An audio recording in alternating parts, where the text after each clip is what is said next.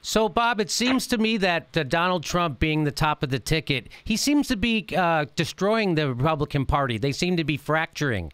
Um, my theory was that uh, it would actually be uh, that there's a chance. I don't know if this is for sure, but I had a theory that it would be a chance that if Donald Trump became president, it would actually be a positive for the progressives because a he puts an ugly face on the horrible policies of neoliberalism and they're easy to oppose. Whereas if Barack Obama, who is right now pushing the TPP, he puts a nice face on the TPP, he splits the natural opposition to it, meaning the Democratic Party, and so we're actually worse off with a guy like Barack Obama. Whereas if with a clown like Donald Trump, you could stand up against him and he fractures his own party. What do you think about that theory? I think you're a very brave man. I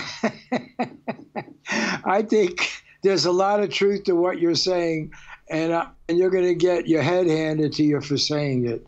You know, because uh, it, it, that it, the you know it's funny. Jerry Brown once when he was running, uh, you know, when Bill Clinton was running against Bob Dole, and Jerry Brown had taken Clinton on back there. Oh. Uh, uh, uh, you know, Jerry Brown said it's not the lesser of two evils; it's the evil of two lessers, and it's really a, an enormous trap. First of all, I think that, that Trump did a great thing in exposing uh, the Republican leadership to their own base. Uh, these people never cared about ordinary folks. These trade agreements that were made by both Democrats and Republicans screwed everybody except the, the elite, uh, and and called them out. He explained where their money goes. He explained it's all for sale, and he said, "Yeah, I'm corrupt." And, and you all are even more corrupt, you know, because all you do is collect the money. You don't even to create anything. And and so this was a refreshing thing. The thing that scares people about Trump is quite legitimate, uh, and it really is basically that finger on the nuclear button. And, and you know, Hillary Clinton made a lot of it. You have four minutes to decide. Well, why does any president have four minutes to decide whether we're going to destroy life on this planet? That's what the, the you know mutual assured destruction. That's hair trigger alert. We're still on that. Why? We don't have the Soviet enemy. Why, why we we knew uh, Nixon went crazy in the White House. We knew uh, Ronald Reagan forgot, didn't even know he was in the White House at the end. Uh, we know we've had presidents become drunk and nutty and everything. Why does any American president uh, get to decide whether life continues on this planet in four minutes?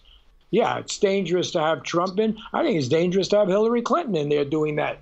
You know, what's the justification for it? And we're still not having a discussion about you know why are we modernizing our nuclear weapons? Uh, why are they on hair trigger alert? Why are we, by the way, taking on Putin, the one person in the world you need on your side if you want to control nuclear weapons?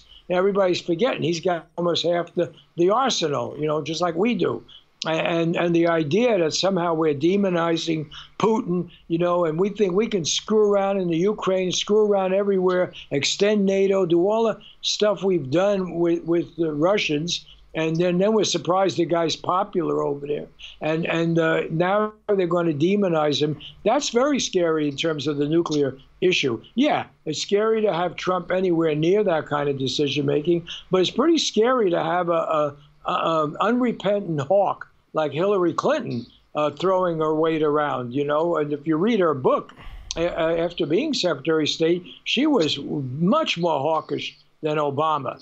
And if you look at the mess she's created in, in you know, Syria and Libya and so forth, uh, it, you know, it's a horrible precedent. Uh, there is something clarifying. I think your point is well taken. There's something clarifying about having this nutcase uh, be the Republican candidate because their program is a nutty one. You know, it's based on a big lie uh, that somehow by caring about religion and values and you know family, uh, you you should line up behind Wall Street, which has destroyed those values and family and the well-being of people. That was the lie of the Republican Party. Was Nixon's Southern strategy? I think it's over now. I mean, they've been exposed. Uh, and the religious right, by the way, is the main uh, victim of Trump's campaign. Nobody ever seems to mention that.